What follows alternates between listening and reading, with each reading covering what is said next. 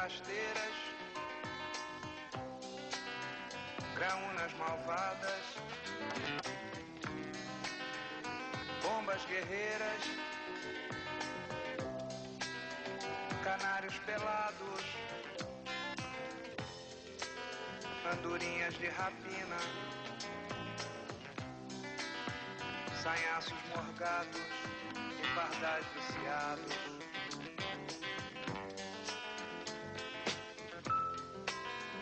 Curiós desafinados e homens imaculados. Lagartas espaciam com olhos de paina. Borboletas desovadas melam. Biguás engolem bagres perplexos. Espinheiros emaranhados guardam por baixo filhotes de pato. Lá vem a temporada de peixes, trazendo garopas suadas, piranhas dormentes,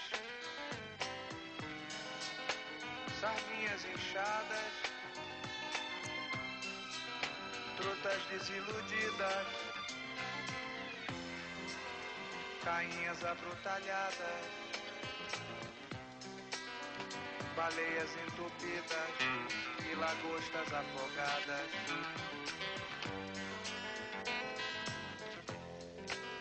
Barracudas.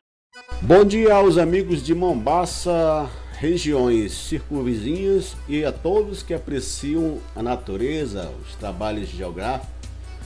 Hoje, dia 10 de maio de 2021, quatro dias após ter apresentado as belas imagens do nosso sertão através do riacho Cacodé e Cagati, estou chegando ao sítio Genipapeiro, situado no leste do município de Mombaça, próximo à divisa com o município de Piquet Carneiro.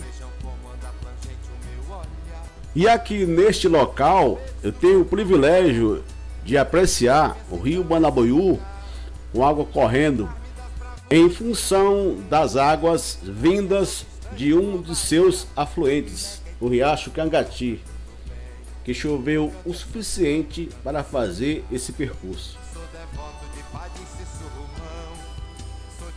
O riacho Cangati, que nasce lá na próxima Serra Raúcha, próxima a, a Copiara, percorre aquela boa parte daquele, daquele distrito, na região de Cajazeiro dos Ivos, passa pela barragem, passa, por várias barragens. Barragem do, de Cajazeiro dos Ivos, barragem da sede do Distrito Cangati.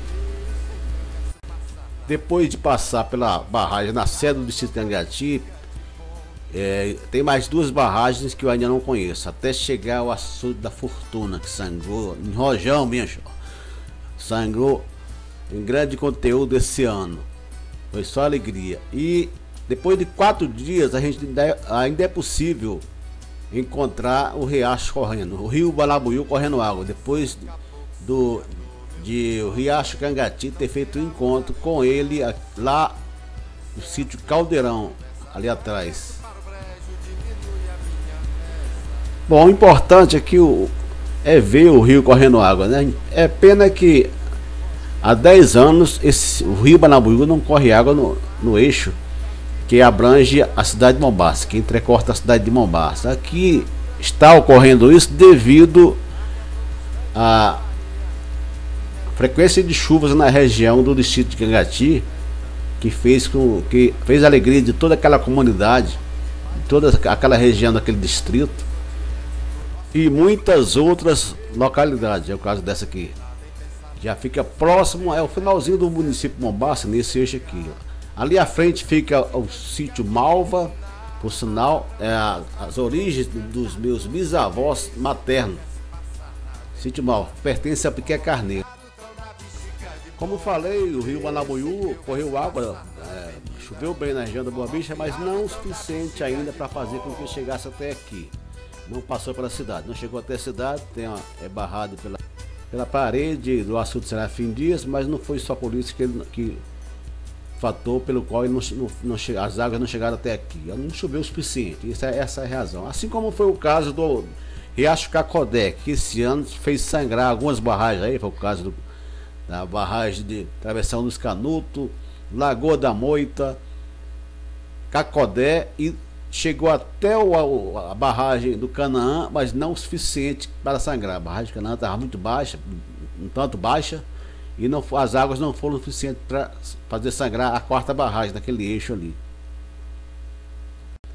Durante o inverno de 2020, além do riacho Cangati, essa localidade aqui foi beneficiada com as águas provenientes do riacho João Alves, que vem da Carnaúba, e o riacho Macaquinho, que vem lá da, das Cacimbas, Serra, Serra das Cacimbas, distrito de Cacimbas. O sítio Genipapeiro é a última localidade onde percorre, onde o rio Banabuiú percorre.